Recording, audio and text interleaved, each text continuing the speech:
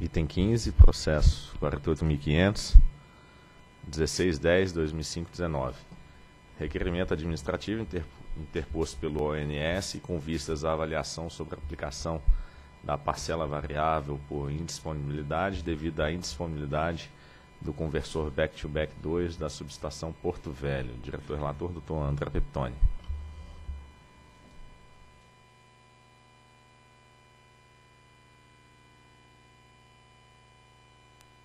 Normativa número 270 de 2007 estabelece as disposições relativas à qualidade do serviço público de transmissão de energia elétrica associada à disponibilidade das instalações. E o contrato de concessão número 10, 2009, otorgou à Eletrosul a implantação, a administração, a operação e a manutenção da função transmissão de 520 230 kV coletora Porto Velho BTB2RO relacionada à segunda estação conversora back-to-back -back de 400 MW da subestação coletora de Porto Velho.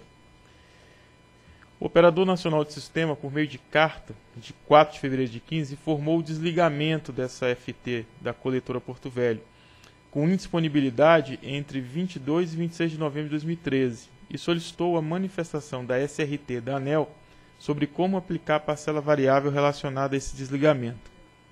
E a superintendência, por meio da, da nota técnica número 39,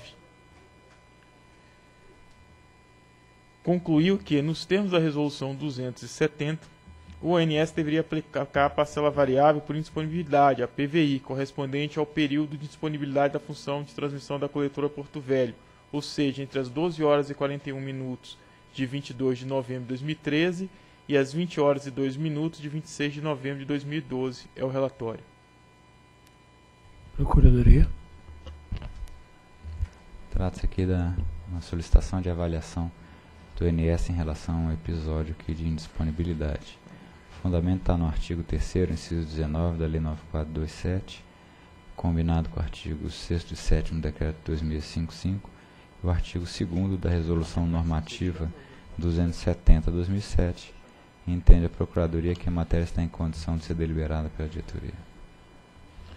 Então, segundo o ONS, senhores diretores, o desligamento da FT da coletora Porto Velho ocorreu pelo rompimento da correia do ventilador principal do sistema de, de ventilação, aquecimento da sala de válvulas da segunda estação conversora do back-to-back -back da subestação coletora Porto Velho, seguido da falha para a entrada automática do ventilador de reserva.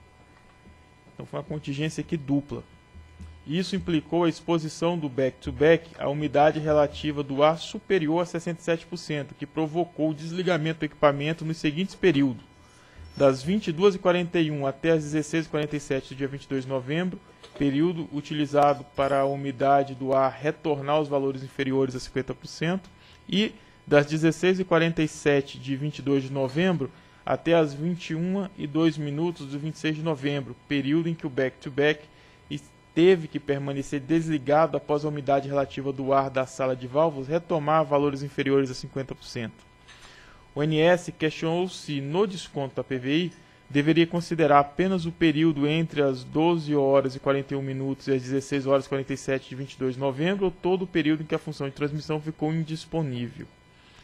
A esse respeito, o item 15 do artigo inciso 15 do, do artigo 2 da 270 estabelece que a PVI é a dedução do pagamento base menos ou seja, do pagamento base por desligamento programado ou outros desligamentos decorrentes de eventos envolvendo o equipamento principal e seus complementares, de responsabilidade da concessionária de transmissão, consideradas as exceções e as condições definidas na resolução.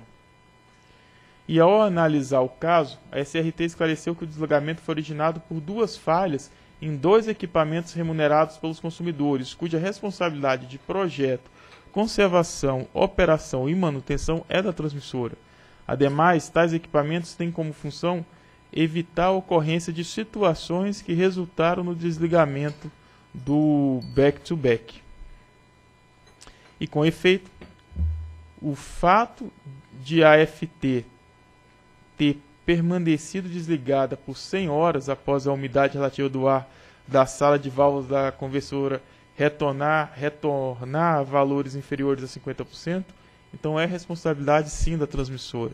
E diante disso, a recomendação da SRT deve ser acatada para o ONS aplicar a parcela variável por indisponibilidade durante o período em que a função de transmissão da coletora Porto Velho ficou indisponível, ou seja, entre as 12 horas e 41 minutos de 22 de novembro e as 21 horas e 2 minutos de 26 de novembro de 2012. Perdão, de 2013. Assim, a partir dessa argumentação e das considerações apresentadas no processo, voto por determinar o operador nacional do sistema que aplique a PVI referente à indisponibilidade da função de transmissão da coladora Porto Velho entre 12 horas e 41 minutos de 22 de novembro de 13 e 21 horas e 2 minutos de 26 de novembro de 13. É o voto. Em discussão. Em votação. Com o relator. Também voto com o relator. Também voto com o relator. Também voto com o relator. Proclamo então que a diretoria decidiu por eh, determinar ao ONS que aplique a PVI referente à indisponibilidade da função de transmissão FTCV 500 230 kV, coletora Porto Velho, entre as 12, 41, 12 horas e 41 minutos de 22 de novembro de 2013 e as 21 e 2 minutos do dia 26 de novembro de 2012. 13. 13, desculpa, é, claro, 13.